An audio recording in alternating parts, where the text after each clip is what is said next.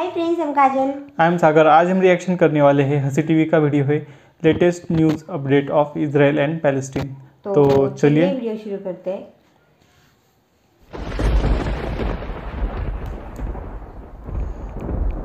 बहुत दिनों से इनकी लड़ाई चल रही है और और- सिर्फ़ गाज़ा की ओर और, और पैलेस्टाइन की ओर के लोग मारे जा रहे हैं।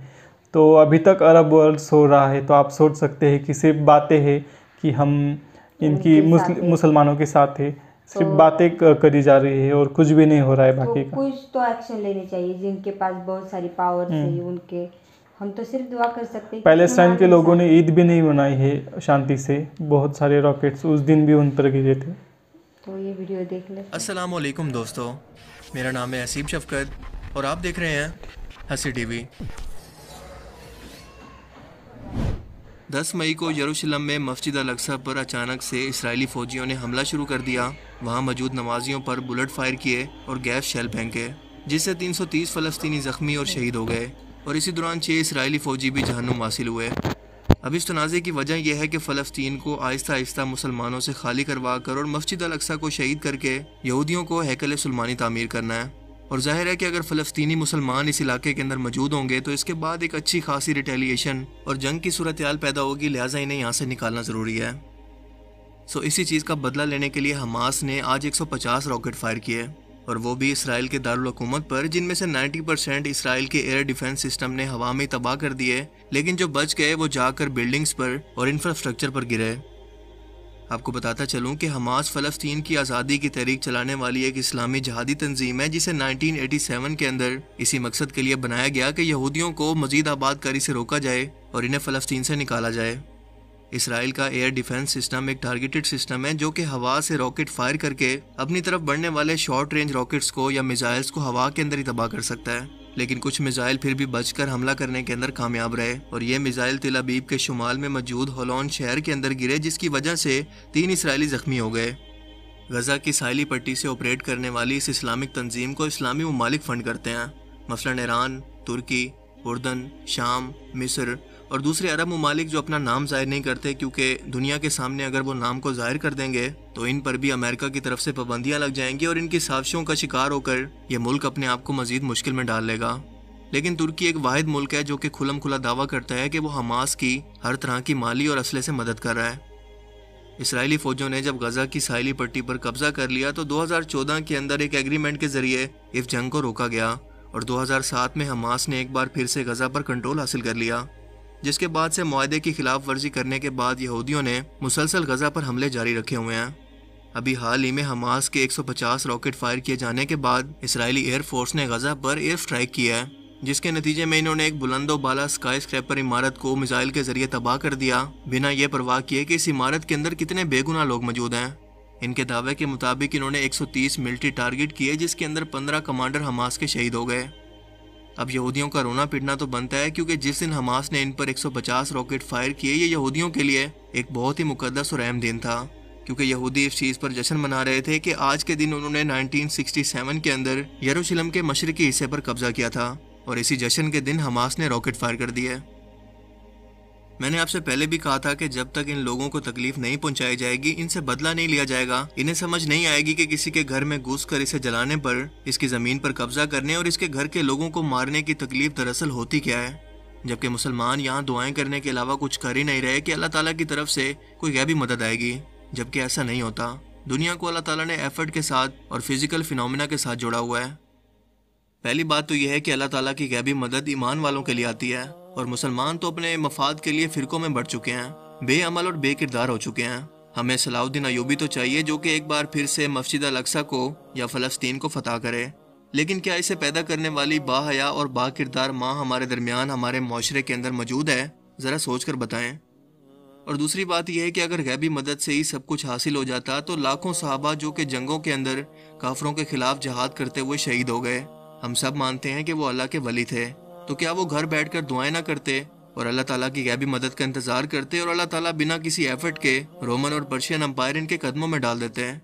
क्या ज़रूरत थी साहबा कराम को अपनी जानों का नजराना पेश करने की? अल्लाह के रसूल सल्लल्लाहु अलैहि वसल्लम के दंदान मुबारक जंग ओहद के अंदर लड़ते हुए शहीद हुए। आप सिर्फ़ दुआ करके पूरी दुनिया को फतह न कर लेते। दांत के शहीद होने का मतलब आप समझते हैं कि जब दांत किसी चीज़ से टकराकर अचानक से टूट जाएँ, वो तकलीफ़ कोई आम तकलीफ़ नहीं होती।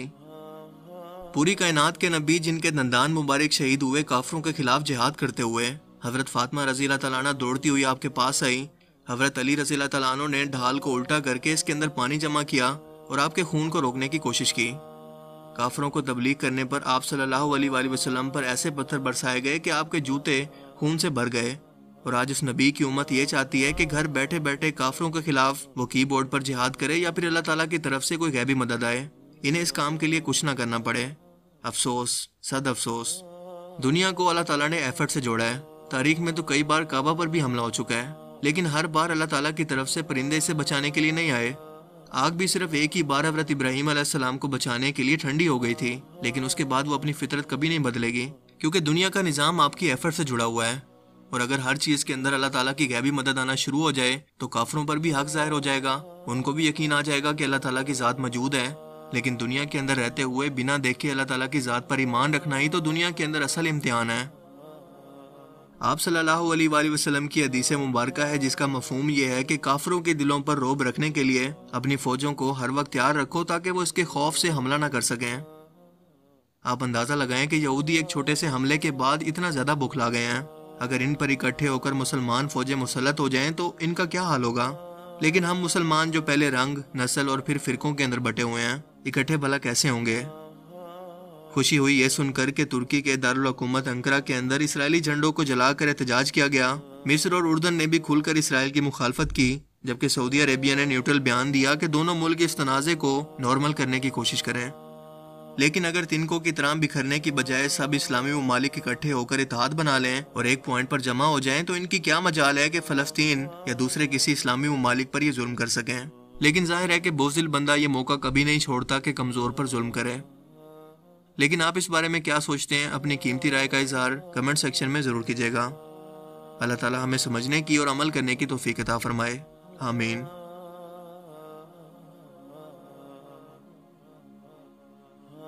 एलान बालफोर 1917 यहूदी आबाद होने शुरू हो गए। और असल में इसी के लिए खिलाफत को मंसूख कराया गया। सुल्तान अब्दुल हमीद, अगरचे ये तुर्की खिलाफत जो है, मर्द बीमार, कमज़ोर, फिर भी वो मुसलमानों वाला जज्बा इतना था। उन्हें बड़ी से बड़ी रिश्वत पेश की गई थी। उन्होंने जब तक खिलाफत उस्मानिया बरकरार रही, यहूदियों को फिलिस्तीन में आबाद होने की इजाज़त नहीं दी। लिहाजा उन्होंने उस खिलाफत ही का बिस्तर तय कराया। इसलिए कि न रहे बाँस, न बजे बांसुरी। न मुसलमानों की वहदत मिली की कोई अलामत दुनिया में बाकी रहे और न मुसलमान किसी मसले पर जमा होकर कोई मौकफ इख्तियार कर सके।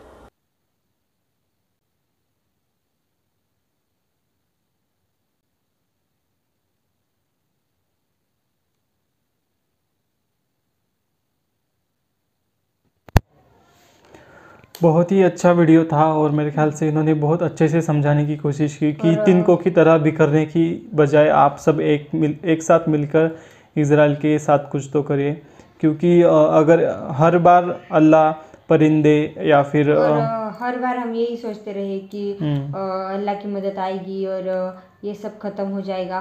तो ऐसा कुछ भी नहीं होगा क्योंकि अल्लाह ताला ने अगर ऐसा होता तो जो साहबा है जो इसके पिछले ज़माने में भी शहीद हो चुके हैं तो उन्हें भी बचाते क्योंकि वो तो हमसे भी ज़्यादा बड़े ओहदे वाले थे और अच्छे ईमान अच्छे अमल करने वाले हम्म। थे।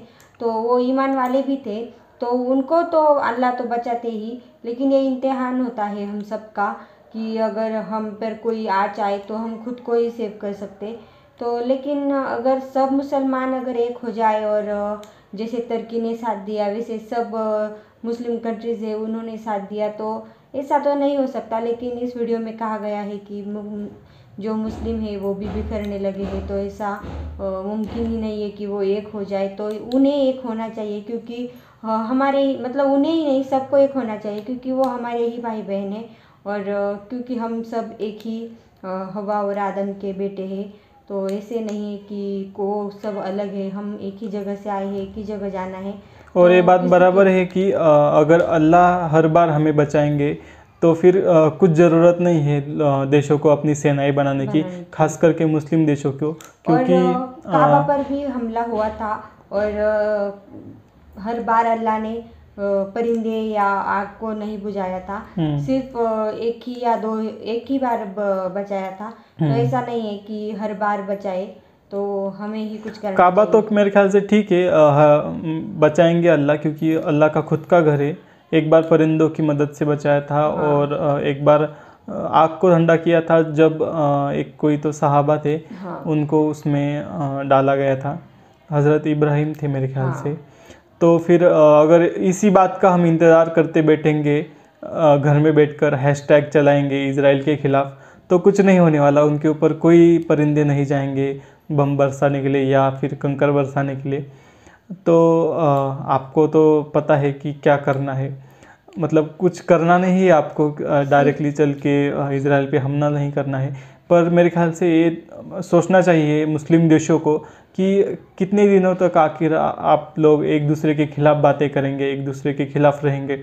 अगर आप साथ रहेंगे तो ही आपकी पावर कुछ काम आएगी। अगर आप अलग अलग जाएँगे तो कुछ भी नहीं होने वाला। और टर्की का अच्छा है कि उसके पास पावर भी है और हम्म। वेपन्स भी है तो वो मदद करती है तो अच्छी बात है। और टर्की को भी ज़्यादातर देशों ने साथ देना चाहिए और टर्की जो है वो बहुत ज़्यादा पावरफुल होने वाली है शायद कि 2022 उसके- में। उसके सौ साल वो जो कॉन्ट्रैक्ट था शायद जो कोई कोई भी था हम्म। जो उस्मानिया सल्तनत ख़त्म होने के बाद जो सीरियल्स चालू की है उन्होंने अर्तुगरुल गाजी की तो यही बताने के लिए कि उनकी जो सौ साल है वो पूरे होने वाले हैं और उन्हें बहुत सारे ऐसे पावर से जो मिलने वाले हैं। हम्म। तो अगर वो मिल जाए तो अमेरिका उससे भी शायद डरती थी उस सीरियल से।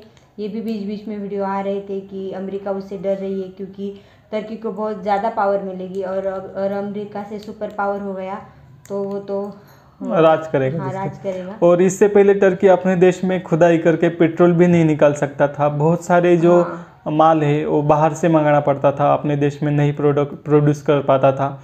और इतने सारे पॉइंट्स होने के बाद भी वहाँ पे जो क्रूड ऑयल है, वहाँ पे निकल सकता है टर्की में बहुत सारी जगहों पर।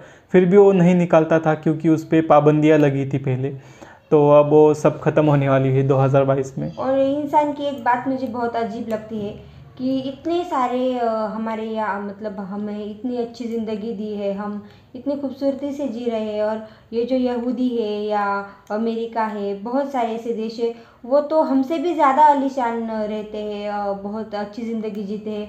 फिर ऐसा करने की क्या उन्हें ज़रूरत पड़ती है? यही कुछ जो होता है कि अगर किसी को बहुत ज़्यादा मिल जाए तो वो और भी ज़्यादा कमाने की लालच करता लालच करता है और ऐसे बुरे काम करता है तो और आप- मुझे बहुत खुशी है कि जो जिसके पास बहुत थोड़ा है वो अ, मतलब अच्छे से तो रह सकता है कि मेरे हम्म। पास इतना है तो मैं सुखी तो हूँ लेकिन ये सब लोग जो होते हैं उनके पास इतना सब होने के बावजूद भी मतलब जो गरीब लोग। जो गरीब लोग होते हैं वो छोटी छोटी बातों के लिए लड़ते हैं और ये इतनी बड़ी बड़ी बातों के लिए तो उन्हें इनके बारे में सोचना चाहिए ना कि उस पर कब्जा करना है इस पर कब्जा करना है क्योंकि एक बार अगर इंसान चला गया तो हमारा कुछ भी नहीं रहता। हमने एक वीडियो में भी किया था कि एक इंसान बहुत ज़्यादा चक्कर लगाता है और उस, उसको सिर्फ़ कब्र की जगह मिलती है जो छः फुट होती है। हाँ तो- और ये बहुत अच्छा कहा काजल ने कि हाँ। वो बहुत भागता है उस उसको कहा जाता है कि जितना तुम भागोगे उतनी तुम्हारी जगह जगह होगी। वो और इतना भागता है इतना भागता है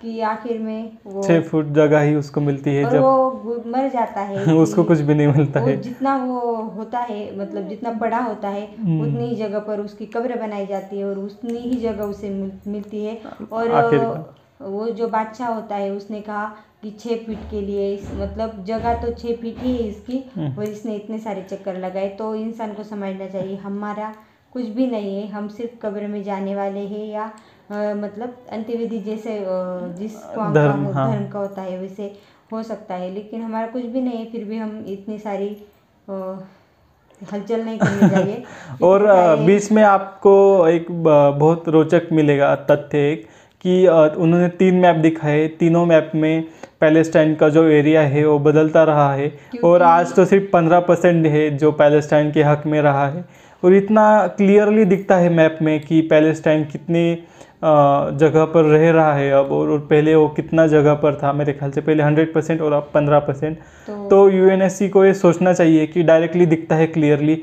फिर भी आप ऐसे घटिया अलग अलग रिस्ट्रिक्शन लगा रहे हैं पैलेस्टाइन के ऊपर और बाद में ये भी कहते हैं कि हमास जो है वो टेररिस्ट ऑर्गेनाइजेशन है। पर बहुत सारे देशों के जो सपोर्ट की वजह से ऐसा डिक्लेयर नहीं हुआ है। तो फिर ये भी सोचना चाहिए यूएनएससी को कि क्लियरली दिख रहा है फिर भी आप नहीं बोल रहे हैं। तो ऐसे हमले करेगा ही इसराइल क्योंकि उस वो भी शायद ऐसे महा जो सुपर पावर है उनसे डरती होगी क्यों हम्म। उनके तो फिर इसका कुछ फ़ायदा नहीं है यूनाइटेड नेशंस हमने का सुना है कि इसराइल बहुत सारे देशों को कर्जा देते हैं और उसके ऊपर हवे हो जाते हैं और हम्म। उस, उनका बदला लेते हैं और ऐसे फ़ायदा उठाता है तो ऐसा नहीं करना चाहिए इसराइल को तो बहुत ही बुरा अच्छा। अजाब होगा हम्म। तो चलिए वीडियो बहुत अच्छा था अगले वीडियो में